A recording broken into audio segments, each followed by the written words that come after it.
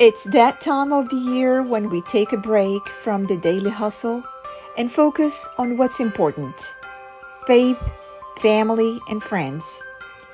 At World Properties Group, we value each and every one of our customers and cannot express our gratitude enough for your ongoing support.